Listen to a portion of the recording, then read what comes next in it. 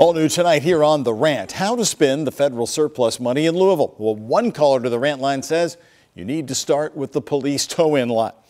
Plus, a federal law that for more than 50 years has banned licensed firearms dealers from selling handguns to young adults aged 18 to 21 is now unconstitutional. A federal appeals court made that ruling yesterday.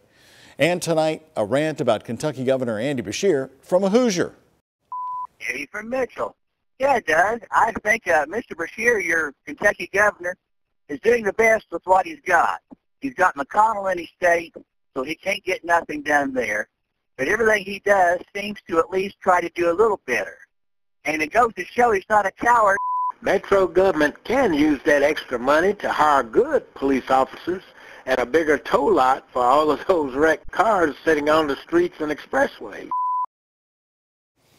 Bill in New Albany on Governor Andy Beshear. I'm a big fan. I think he's a caring and honest man. I live in Indiana and I wish our governor was more like him. I do not agree with Andy's decision to pay $1,500 to go back to work.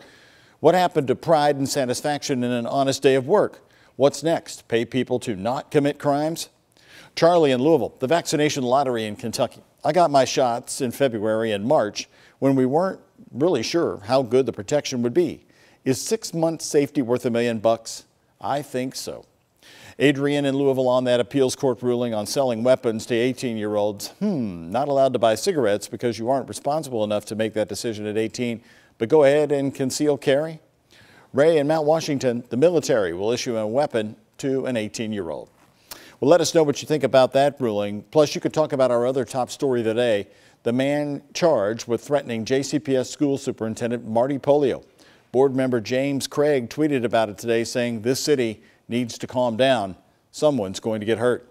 Here's how you can post a rant on my Facebook page. Find me at WHAS11Doug. You can use Twitter. I'm also at WHAS11Doug. Keep your emails coming to the rant at WHAS11.com. A lot to talk about as we're here at midweek.